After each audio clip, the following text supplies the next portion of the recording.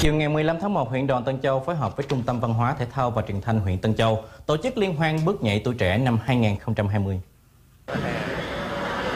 Tham gia liên hoan có trên 50 thí sinh đến từ 8 nhóm nhảy thuộc các trường trung học phổ thông Tân Châu, Tân Đông, Tân Hưng và Trung tâm Giáo dục Nghề nghiệp, Giáo dục Thường xuyên huyện Tân Châu. Các em đã đem đến cho hội thi nhiều tiết mục nhảy vô cùng trẻ trung và sôi động, thuộc các thể loại nhảy hip hop, nhảy hiện đại, popping dance. Kết thúc cuộc liên hoan, nhóm nhảy Black Leader đến từ trường trung học phổ thông Tân Châu đã xuất sắc giành giải nhất. Ngoài ra, ban tổ chức còn trao một giải nhì, một giải ba và 6 giải khuyến khích cho các nhóm nhảy khác.